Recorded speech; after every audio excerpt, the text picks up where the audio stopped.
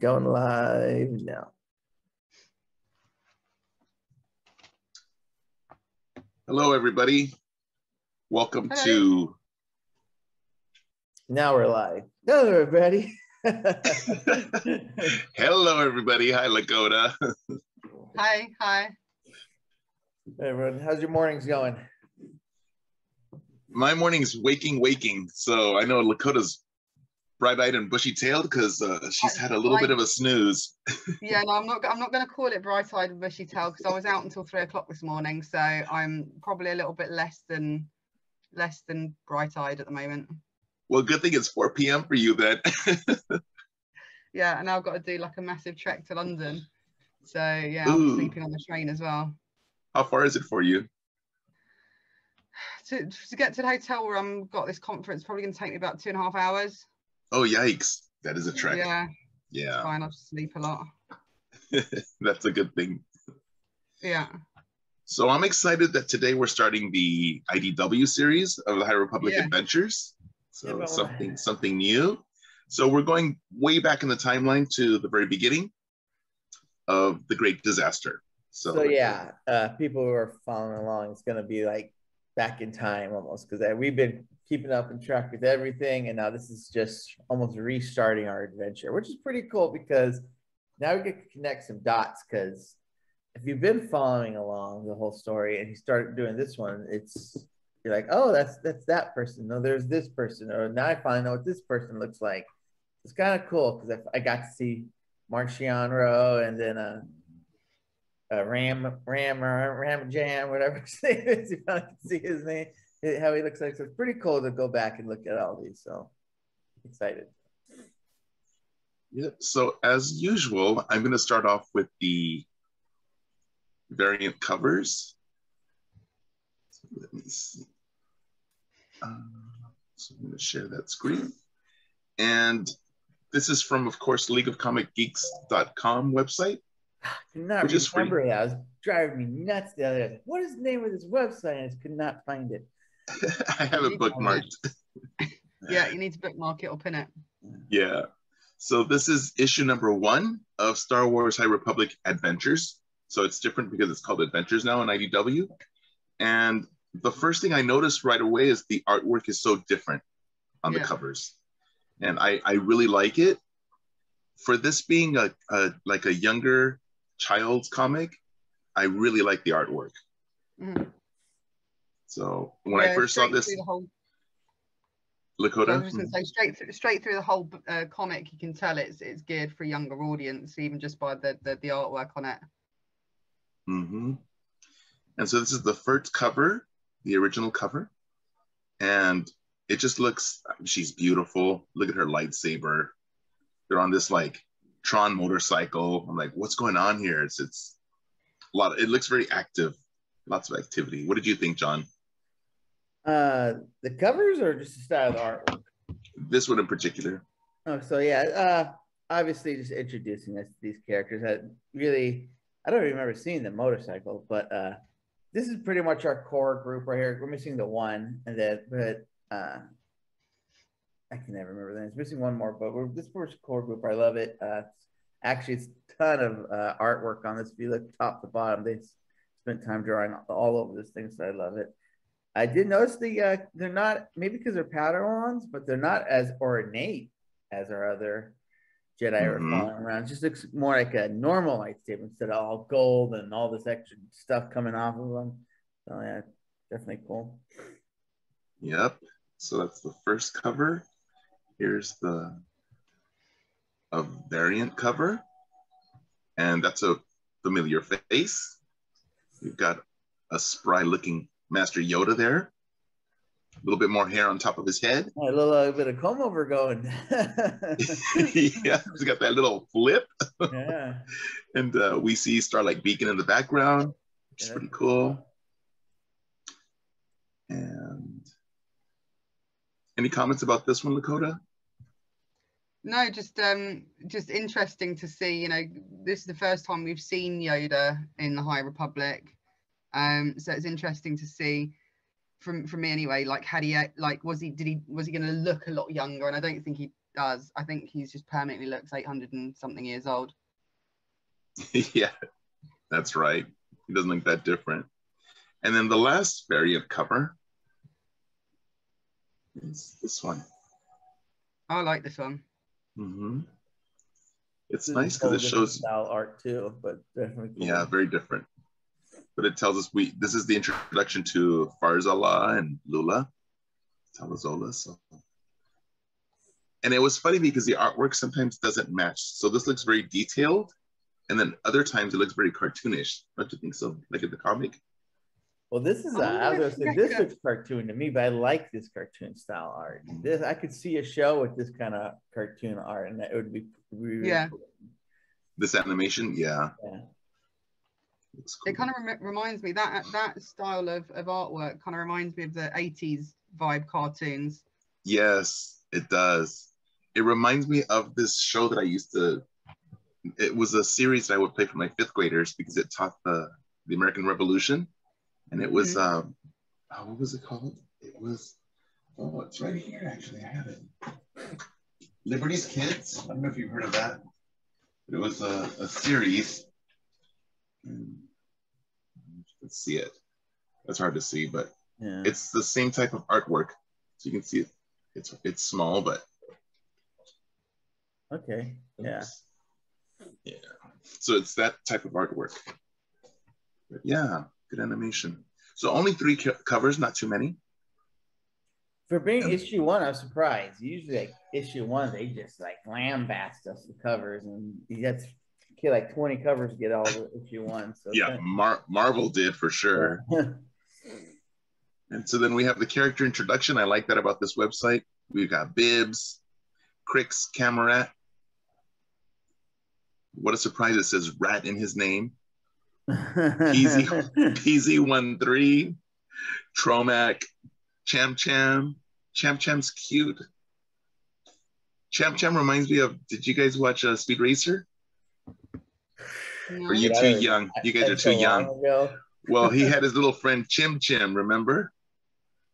Spritle, the younger brother, had Chim Chim, Yeah, little chimpanzee. Well, they have Cham Cham. So a lot of little mascots in, in the adventure series, right?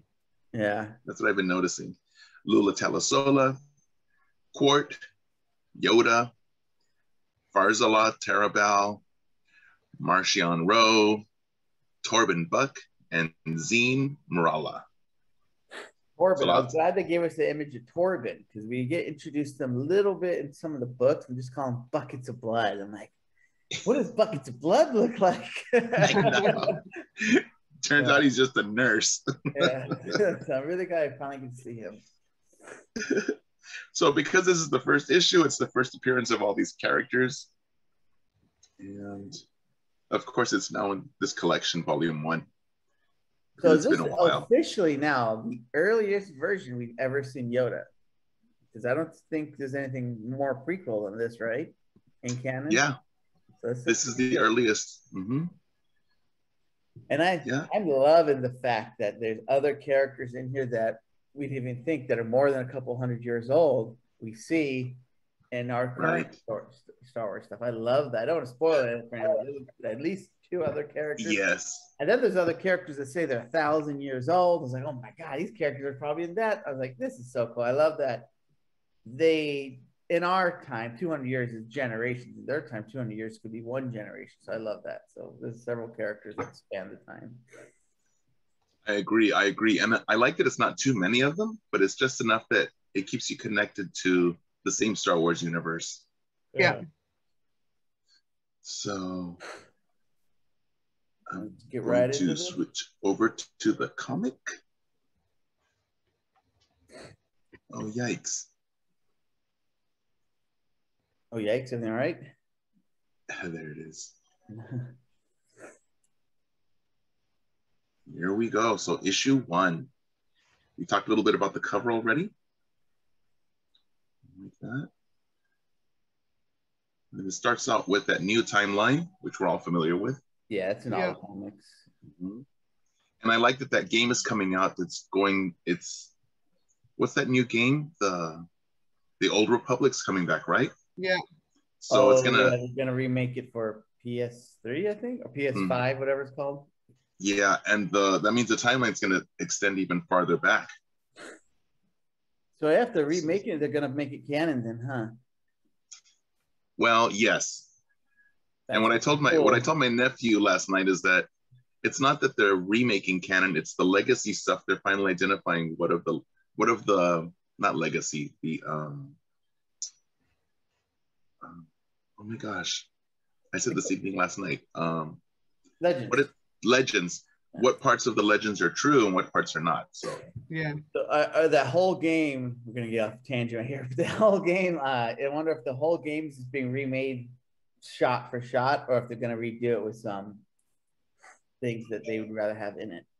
Kind of like how they. I think it's gonna. I, I, I think it's gonna be brand new, a brand new game. So I'm excited. I'm excited too.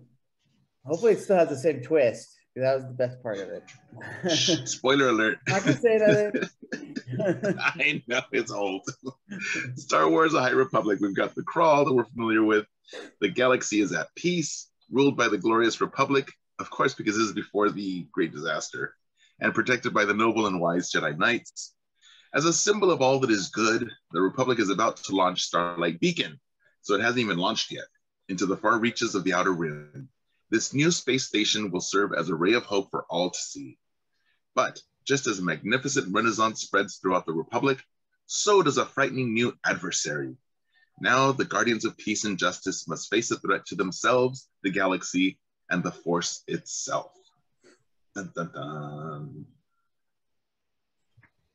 And so one thing uh, I kind of like that these all have this page you're looking at right now. It kind of gives us almost a little teaser. And Yes. Marvel didn't have it. The IDW has it. I I really like that does this. Yeah, and there's the other page I like too, the one that gives like a little uh, archive file. Oh, that like halfway in the middle. When, when Yeah. we get to that, that's like that's like my favorite thing about this. I love those. I too. I love love those. them. So here we see- knowledge, smack. Yeah. cool. So this one's called Collision Course, and we see two faces. And it starts out right away. We know what's happening here. This, of course, is the Great Disaster. And we see a didn't Doug. know what the great disaster was. It was a ship that gets destroyed in hyperspace, and pretty much now, once it does, it just launches debris anywhere it wants, anywhere in the galaxy, and so it's just it causes a lot of devastation. I think billions die, or at least millions. I know one sys- entire system's destroyed. So, Yeah, it's a big one. It's a big one. And they come out whenever. It's not like it's. It was pr- uh, in the beginning, like when it happened, but there's some that came out weeks later, some debris. So it's Mm. kind of like they had to shut down all hyperspace for a while. So it's pretty much the worst disaster you can ever think of. So here we have a Doug. We know that species from the prequel. Boba. And then they're saying, What's going on? Yeah, they're at like a station and they notice the ish hit the fan right here, where they're gonna get smashed and destroyed. Mm-hmm. And then we jump over to the Starhopper, which is that ship that Yoda's on with the younglings because he's taking a break from the Jedi Council, right? Yeah, Yeah. so apparently Yoda, yeah, Yoda, Yoda is uh he's just taking a bunch of younglings. It's not even the couple we're going around with. There's other ones on the ship too, so it's pretty cool. And he's, I guess, he's just like a field trip, an extended field trip. And I know some of these younglings, uh, Padawans, have uh, masters. I don't know if they all do, but he's still just traveling around the galaxy with them. And he does look a little younger here. He's uh, decided to go full crew cut, like there's no hair at all. Yeah. But I Yeah. definitely Yoda is a. I realize Yoda is a a tool that Star Wars put out there. So like, how do we get people to read this one and Yeah. put Yoda in it? And people are gonna definitely like the younger audience is gonna be way more like, oh, I want to read about Yoda. So it's pretty cool. Yeah, he's Yeah, definitely being used as a hook, isn't he? It's like get people interested in it, get them wanting to read it. But it's a, it's a great way to get kids into Star Wars, you know? Or getting Right. into the It's comics. not about him at mentioning all. He's really just there. So it's pretty cool. Yeah. Real smart. Yeah, and you're right. Some of these do have uh, masters. I think the older ones, but the really young ones don't. I don't think the really young ones do. Yeah, I, it's it's weird because usually you're not going to see Padawans away from their master. So I kind of thought that was a little different. I was like, oh, he's just uh, taking them all for a field trip. Mm hmm And so they're out in the Star Hopper, out in hyperspace, which of course had that disaster. And the little blue boxes are, are Lula Talisola, like her little mental monologue. And we're listening to what she's thinking about while all these things are going on. It's pretty cool. So she's a super gifted uh, Padawan. And then I like Qort because he never talks. I mean, he talks a lot, but you never know what he's saying. yeah, uh, it's gonna be like a a rock friend. It's just like you just have to assume what he's saying. You don't know what really is going on. So I like it's a nice little uh, fun little thing they're doing. He always says something, it just never makes sense. in Resistance. Who was in Resistance? You know the the he's he was like the little engineer friend. He looks similar. I was just wondering if they were the same species. Well, because now I know, spoiler alert, that he's wearing. Can I say it? It's a spoiler, but because I just found out in issue nine of uh, IDW. I haven't read issue nine. I know. Okay, then I won't say anything. I won't say anything. I read up to don't- eight. I I read nine. Okay. Then I, I won't say anything. I mean, he could be. I don't. I'd have to rewatch. He I'll have to looks more like the engineer on Star Trek, is what he looks like. Yes, that's what I thought too. The engineer on Star Trek. He looks just like him, Neeku one that- was the character I was thinking of. Miku. Because the one on Star Trek Yeah. has little. He's got little crab eyes, right? They move like this. yeah, yeah. excuse me. And then here we have uh, Brelanek City on Trymant 4. And we have another similar parallel story going on with Zeen Mrala, where she's on her planet. Zeen's the pink one with the crazy hair. She's cool. Yeah, she is cool. And she's there with the rat. Krix, which I thought was I can't I cannot get their curse words right. I thought Krix was one of their curse words. When they said Krix, I was like, wait, Krix. I know.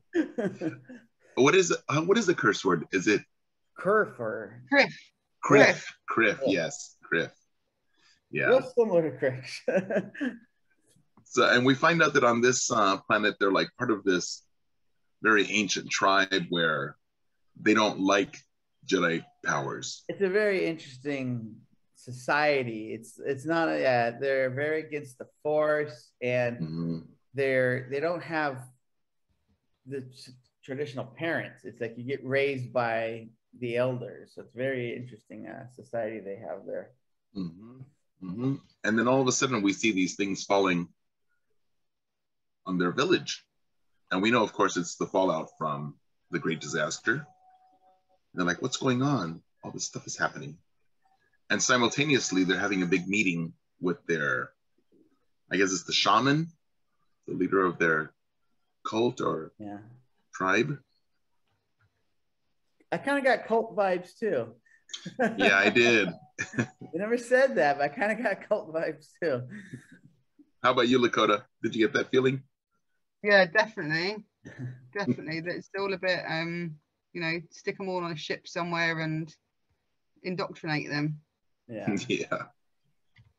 So then they're like, okay, entering the Trymant system in 10. So like, we got to go help. Padawans get ready. This is a great shot because you see all these different Padawans and younglings. and Mhm. It's really cool. Like we don't follow, we don't know any of these names. We don't, we only follow like three that are in here. So it's really cool that there's all these are with them. You just see this giant scope of what's going on. hmm So they're saying it's another delayed fallout reaction from the hyperspace disaster. So like you were saying, Jonathan, it didn't Oh, all, all the debris didn't fall out at once. This is a, No. another delayed one. So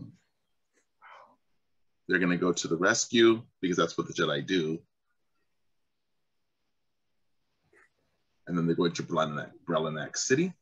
Yeah. So Jedi, uh, Yoda's starting to look a little bit younger here. it's the Yeah. speak. He's kind of looking middle aged. Like he looks like he's in his thirties. Yeah, he has a waist. Yeah. look at his look at his tummy. He's nice and slim. Uh, and then Yoda's like giving trainings. So he's it's it's cool because we're, it's different type of training that we never heard Yoda give uh, younglings. So it's Mhm. expanding our knowledge of how the Force is, how the Jedi transmit their knowledge.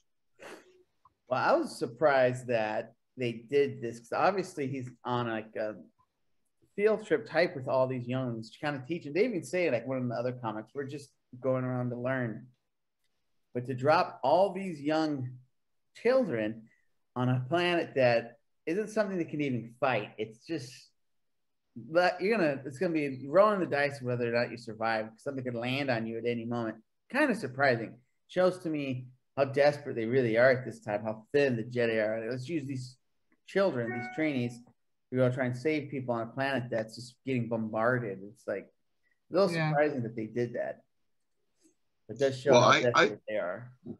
I thought it was more like the, how much faith they have in the Force that because these children are are strong in the Force, that it's just going to work together by having them, you know, all together is, is more Force. I don't know, but good idea. I didn't really think of that. I just thought it was because they're they're kind of fatalistic, aren't they? The Jedi, or at this point, they're very. They think everything's destined to be, and, and everything is going to be as the Force wills it. Yeah, And- I think they're definitely like that, but I still think you want to be cautious. but that's me, I guess. I'm a very cautious person. I am too, but I think they're like, oh, some are gonna die. That's just the will of the Force. It's gonna happen. So let's get out there. Some won't, you Might as well try and save some people. So then we see them coming down, it's gonna be a, a, a meeting of our Jedi friends. So we're back on the city, and oh yeah, there's a lot of stuff coming down. Yeah.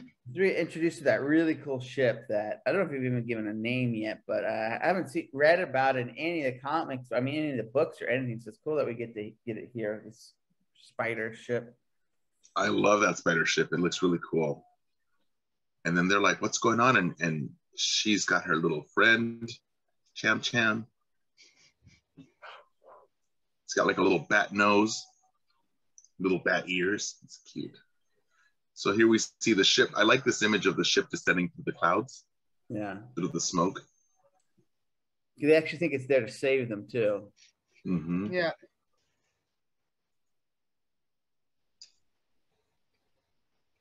But like that shot right there, that just seems so dangerous to put kids. Hey kids, go drive these through this.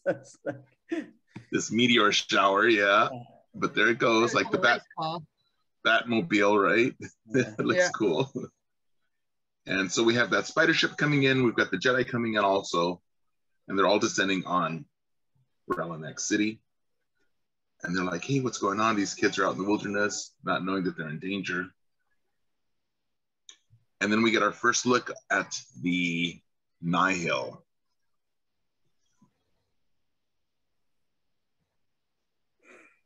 And the Nihil, less- They've been protected. they're- they're- Sorry, Jonathan, gone. I was just saying this is exactly what we've been showed what they look like. So really no surprises how they look like. It's kind of what I Mhm. expected. I think they. I personally think they look less scary. Oh really? Yeah. Compared to the artwork in the um, other comics, I think they Mm. just look a little bit less intimidating.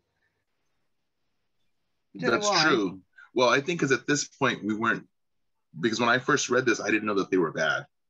Mm. So I, I thought they were just oh, it's just you know Maybe just mercenaries or something. yeah, they've got masks. Yeah, it just didn't feel. It's, it wasn't. It's not as um, as quite as Mad Maxy or, or kind of you know. Yes, you're right. It's not intimidating, but I think it was purposeful for this issue Yeah. so that we would get that twist. Well, definitely their posture, uh, what they're, what, how you were interact, we meet them is kind of they're more acting like guards right now, and that's Mhm. not Yeah. Nihil from what we've read so far. Nihil is just attacking marauders, so it's, Plun- it's plundering, a little yeah. different when you. Re- I'm reading them. At first, I was like, are they, they higher than Nihil? I was like, this is different, definitely different than what I expected them to act. Yeah. And we and we find out they have the elder, Elder Tromak, and they're taking him away.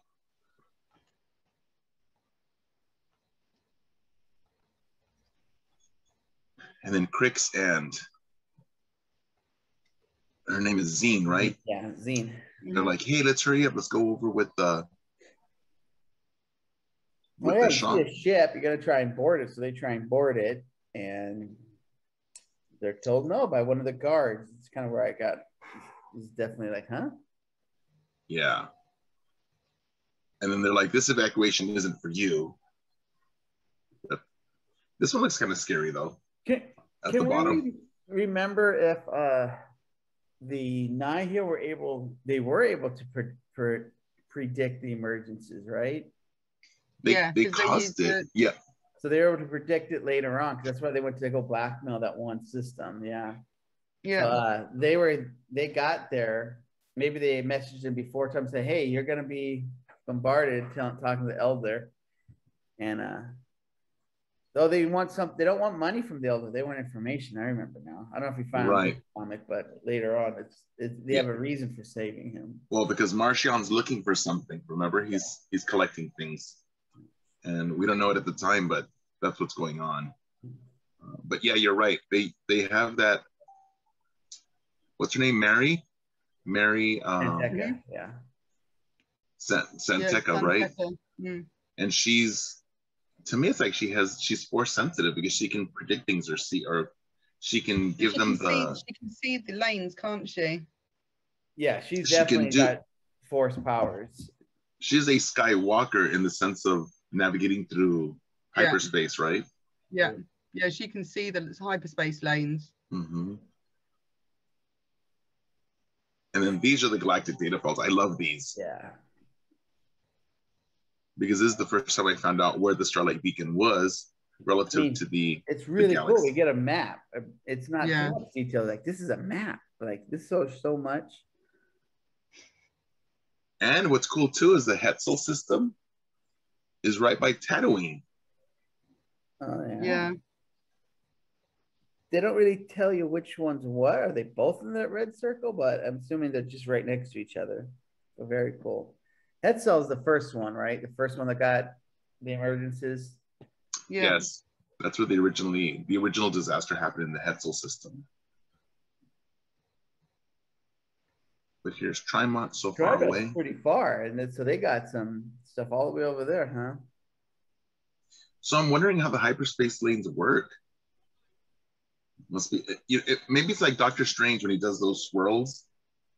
You can I have lots, anywhere. and lots of No. questions about the hyperspace, and I was kind of waiting till maybe they were done with all these books, but I still don't understand how they how they, their paths, and I just yeah, I have a lot of questions about those. and I like how they they give us some familiar stuff like Yavin, Kashyyyk, you Yeah. know, the- or Coruscant, but then they also mix in some of the new stuff. Like we have Trymant, Starlight Beacon, Hetzal system, and same thing with the little pictures. We have Starlight Beacon, and then we have Coruscant, which of course we're very familiar with, and then Trymant. So it's I like this. And then it goes back to the story and she's giving some little background, a little flashback of when she was really young. She still had Cham Cham. And then it's getting worse.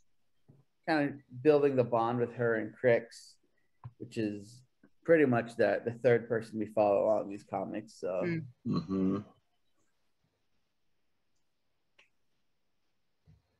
And then the Jedi are arrived and they're going to help them. And they're, that's what I'm saying. This looks dangerous, man. Like it does. this looks Yeah. super dangerous.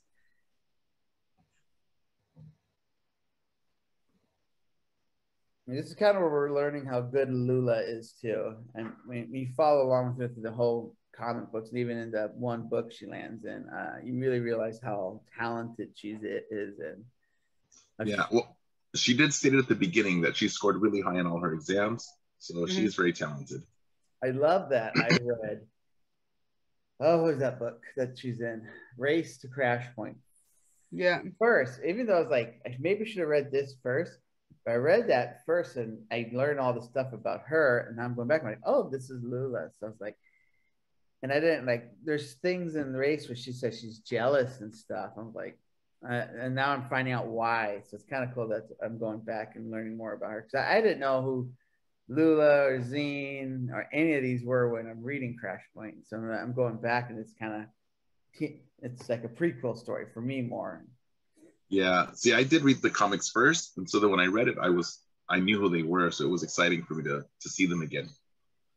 And then we see that spider ship is pretty cool. Looks like a big spider. Definitely it's still sphere, which I think the reason that they have yeah. can't be functional. But uh, I love that it does a good job at scaring people. And then they're not letting them come through because they only came for the their leader. And he, of course, says, "Oh, I need them. They're my disciples." I don't catch, understand why all of a sudden he's like, "Yeah, let's bring them on." He just like doesn't want them to kill the kids, but all of a sudden he like really wants them to come along. Yeah, he wants to rescue them because they're going to get killed. Otherwise, first. well, they were like capturing him. Remember, it wasn't that he was trying to evacuate. They oh. went and they grabbed him, and he's like, "Wait a minute!" And so then he tells them, "Take whoever he can to save." Yeah, I think so. I got it as when I we first kind of introduced him that he was making a backdoor like evil deal, kind of. Like yeah. Oh no, I thought they went to. They, I think they went to kidnap him. That's the feeling I got. What do you? What about you, Lakota? Yeah, I think they were taking him. Mm-hmm. Definitely thought they were taking him. And then so we have the Jedi show up as well, and they're like, "No, you can't use our ship." And yeah, the Jedi aren't even. They're like, "What are you there for?" Like, "Oh, we're gonna need your ship to save people." like, wait a minute. they're kind of just like, "We need that." And this is where we find out that they have no love for the Jedi, the people of Trymant. Yeah. They're like Jedi Force users. It's just interesting because they never really tell us why. Why there's it's. I understand that they do hate Force users. This uh, it's it's hard to get behind a reason to why people hate anyone without a reason why. Yeah. yeah. So here they are. They they start getting they're under attack by the Nihil. And of course it's not always successful against Jedi. So they're not doing a very good job of exterminating them. So I noticed throughout the comic series, whenever there's a bunch of people, the artwork, I don't know if it's intentional, gets less detailed. Yeah. It's so maybe they're like this is too much work. I'm not going to do it all. If it's maybe it's just something they normally do in comics like this. But uh there's some issues later where there's a bunch of them and it's just kind of like almost like squiggly lines are supposed to be the people. I'm like i can't even make anything out kind of like a couple of panels here i'm kind of getting that too they're kind of oh it's just i think it's the style they do honestly yeah it's little i don't know catches me off guard I like it. I, I like it because it gives me that scope of like, oh, this is big, you know. And you really, when you have a big, massive scene like that, you can't see all the details. Yeah, because I think it's almost like a limited. focus thing. You know, if something's far away, it's not mm-hmm. focused. So I'm thinking like that scene where they're walking them up the stairs. They're really, it's almost just like the outline of them. Like that's supposed to be where mm-hmm. not focused. So it's kind of, it's a different tool, and I see how they do it, but it caught me off guard when I first started reading it. Mm-hmm. You see, you can, st- you can catch it. You can see Yoda hiding. It looks like Yoda. Uh, one, two, three, four, fourth panel down, like next to the stairs. It almost looks like. Remember, Yoda is trying to. Oh yeah. So it kind of hmm. yeah. looks like Yoda hiding there, but because there's no detail, it's hard to tell. right here, huh? At yeah. the base of the stairs, I hadn't noticed that. I did notice they have the leader. He's up there. I recognize yeah. him. But yeah, Yoda's down there. Yeah, so, sneaking. Sneaking. He should be hiding under like a little trash can, like a little bucket, moving around. so here we have these parallel stories that are now clashing together because we have Lula's story and we also have uh, Zeen's story. They finally merged. Yeah, they even the same. Their, their thought bubble bubble together. It's blue and pink at the same time. So it's kind of you know that we're following them at the same time. Pretty cool. Right. And then this is where we see something's coming down. They're both something's happening because they're merging. The Mm. blue and the pink, the blue and the pink. And it's I think the force is building on everyone who's around because the force grows stronger as there's more force sensitives together. And here we have the big reveal that she also uses the force. It's pretty uh, impressive too. Yeah, Yeah. it is. makes me think she has a lot of force power that's maybe untapped too. That especially Well- that we're following her, following along with her. That maybe there's even some more really cool moments from her. And she hasn't received any training. Yeah, No. And of uh, course, very Krix- eleven, like just like. yeah. and then Krix is like, what the, what the frick? Crick's a crick. And even the Jedi are like, whoa, you know, how did this person do all this? And Krix is like, Zeen, you? And she's like, I can't hold it. And the Jedi come over, Lula comes over, hold on, we got you. And they're all doing it together. And Krix is like, no way. So He's pissed off. So angry. That red background, just the emotion is just like, not even that. It's just anger. It's not upset. It's it's so much more. He's so angry right there. Well, he, he's he's so betrayed. He feels betrayed.